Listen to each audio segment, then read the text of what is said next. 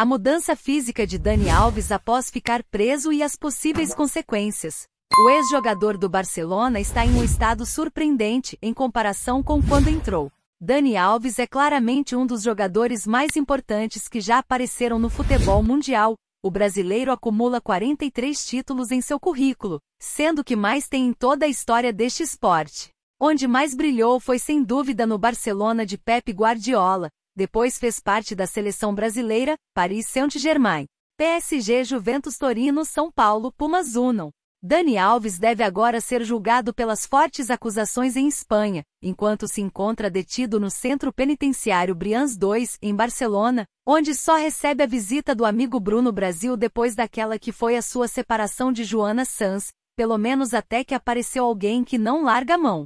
E nesse sentido, nas últimas semanas apareceu uma pessoa que não vira as costas ao brasileiro e tem um plano para tirá-lo da prisão, onde pode pegar 12 anos se for considerado culpado do que é acusado, demonstrando assim que tem um compromisso real com o ex-jogador do Barcelona Futebol Clube e que não o quer apenas pelo dinheiro.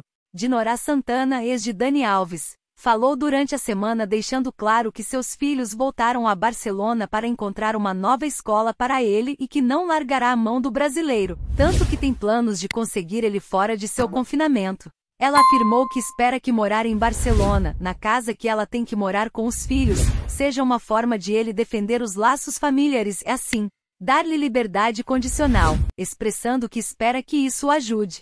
É por isso que a primeira esposa de Alves apareceu ontem onde ele está preso junto com seus dois filhos, deixando-o claramente feliz no momento em que está preso, já que não vê seus filhos desde que todo esse processo começou contra ele. Mas longe de ser uma boa notícia para o ex-zagueiro do Barcelona, eles revelaram o estado atual de Dani Alves e a mudança física que ele sofreu depois de estar preso por vários meses enquanto aguardava o veredicto do julgamento. A mudança física de Daniel Alves. Um dos detidos no mesmo local onde Dani Alves revela que está mais magro e amaciado, vendo-o triste de vez em quando, segundo o Infobai. Isso tem, sem dúvida, impacto no facto de poder não voltar a jogar futebol, caso seja dispensado, devido à perda de massa muscular.